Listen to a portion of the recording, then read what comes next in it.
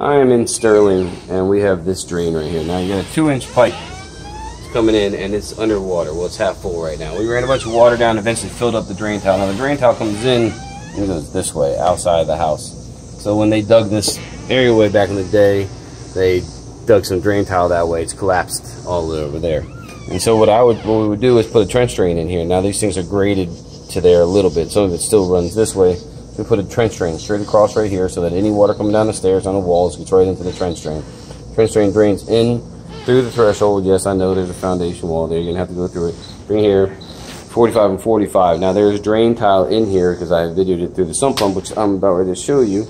And so we'll go this way towards this HVAC system. You see the wall right there. It'll go this way. It's about 22 feet of jackhammering.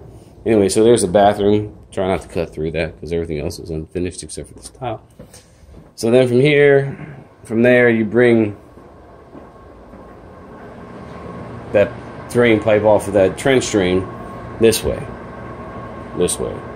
Get into here, and then from there, bring it right over to this sump pump. Now I'm going to recommend that he gets a battery backup sump pump because when it rains, it pours, and when sometimes electricity goes out, you tie right into here. Now, as you go through here, there's a main sewer stack right there, right there, and there's also the drain tile. So the stack should be deeper than what we're going, but at the same time, we're plumbers, so if we hit it, we can fix it. Same way with the corrugated drain tile. If it's broken, we can fix it. If we expose it, if it's got, if we punch holes in it, we can fix it.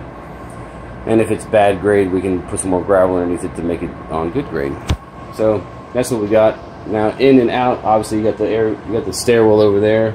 In here, we're gonna have to shut that off while we're jackhammering because it don't want it to suck everything up. But yeah, and then we'll plastic off everything going on to upstairs so that the dust doesn't go upstairs.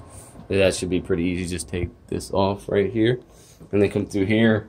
Uh, I would run some plastic straight across from that corner to that corner. So then we're good.